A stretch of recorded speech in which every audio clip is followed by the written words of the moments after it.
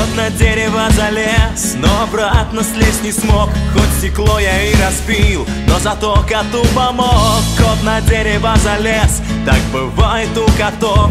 Хоть я дерево свалил, но скажу вам, что зато Зато я спас кота, я выполнил приказ. И так бы поступил на моем месте каждый котика я спас ведь выполнить приказ. Первостепенно важно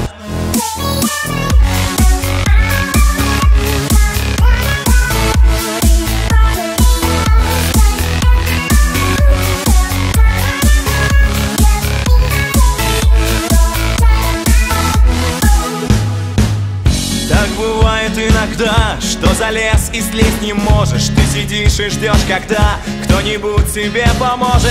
Так бывает иногда у людей и у котов. Хоть и дров я наломал, но скажу вам, что зато Зато я спас кота, я выполнил приказ. И так бы поступил на моем месте. Каждый котика я спас. Выполнил приказ, ведь выполнить приказ Первостепенно важно